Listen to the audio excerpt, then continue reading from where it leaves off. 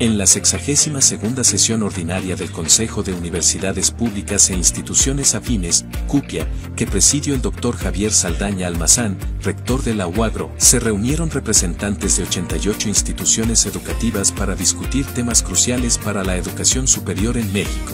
La sesión fue inaugurada por el doctor Luis Armando González Plasencia, secretario general ejecutivo de la ANUYES, quien brindó una cálida bienvenida a los asistentes, subrayando la importancia de la colaboración interinstitucional para enfrentar los retos educativos y sociales del país.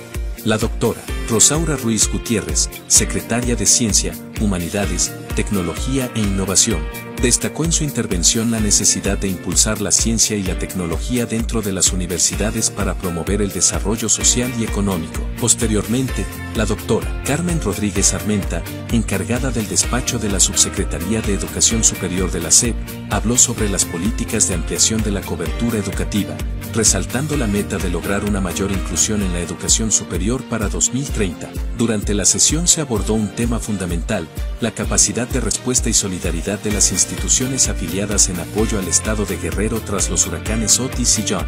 El doctor Javier Saldaña Almazán presentó un informe que detalla los esfuerzos coordinados entre las universidades para brindar asistencia a las comunidades afectadas, lo que reflejó el compromiso del sistema educativo con la sociedad. También se discutió la estrategia de financiamiento federal para las instituciones públicas de educación superior con vistas al presupuesto de egresos de la Federación 2025. Otros puntos clave incluyeron las modificaciones a los convenios de las universidades públicas estatales, enfocándose en proyectos de salud mental y transparencia en el ejercicio del gasto. Se presentó un informe sobre los mecanismos de prevención y rendición de cuentas y se acordaron acciones de seguimiento para la entrega de los estados financieros auditados, así como los informes académicos de las universidades.